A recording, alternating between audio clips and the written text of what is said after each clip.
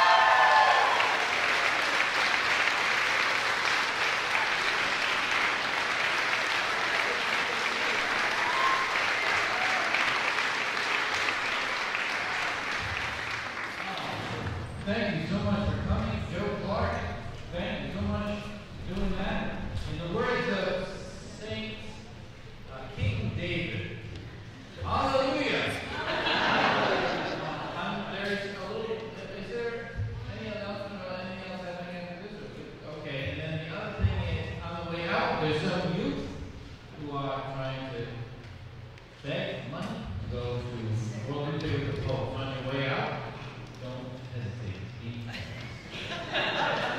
and, and for those of you who aren't Catholic, you're Catholic.